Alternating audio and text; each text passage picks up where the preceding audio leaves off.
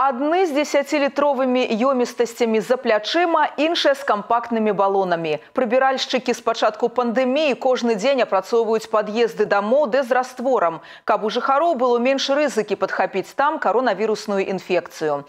Як на практыцы праходзіць такая работа, назірала Марына Северянова. Рабочий день у нас начинается с обработки подъездов с улицы. Это ручная у нас. И домофон протирается. Скинь. Все. Обрабатывается здесь. Десятилітровага балону хапае на апрацоўку палутара дзесяткаў пад'ездаў. За змену галіне з калегай трэба дэзінфікаваць звыш 30. Ежедневно у нас обрабатывается лифт, это перила, стены, потолок и панель. Сразу же тоже человек идет за мной, это все протирает и проходим дальше.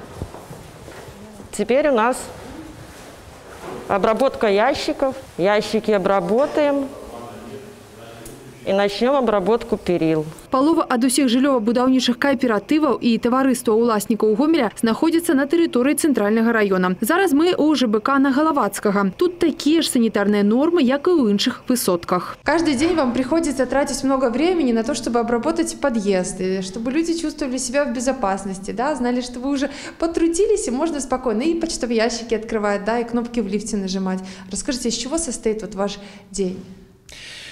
В общем, работа обычно, как всегда, уборка. Уборка – это влажная уборка, и, это лестничные проемы, лифты, кабины лифт, все. Но когда уже случилась эта наша пандемия, конечно, начало намного сложнее, потому что нужно ежедневно обрабатывать средствами, во всяком случае, первые этажи, кнопки лифта, в лифте самом, ящики почтовые обязательно, дверные ручки – ну, и все остальное, что на первом этаже находится, обязательно. Жыхары дома сваю Ганну Михайловну вельмі паважаюць і за клопат, і за акуратнасць, і за вясёлы характар. Анна Михайловна очень положительный человек, а, очень а, позитивный. Все идет со- согласно санитарных норм, и все как бы обра- обрабатывается этими специальными средствами. Все это мы ощущаем на себе. Все очень позитивно. З пачатку года сфера жыллёва-камунальнай гаспадаркі в обласці на санапрацоўку падведамасных тэрыторый і аб'ектаў патраціла звыш 900 тысяч рублёў. З закупкай дэс-сродкаў зараз праблем не ўзнікае. Дарэчы, з красавіка было закуплена больш як 8 з паловай тысяч літраў антысептычных раствораў, больш як тысячы кілаграмаў сухіх парашкоў і прыкладна 14 тысяч таблеток. Работниками предприятий жилищно-коммунального хозяйства ежедневно проводится колоссальная работа. Это очень важно во избежание распространения коронавирусной инфекции.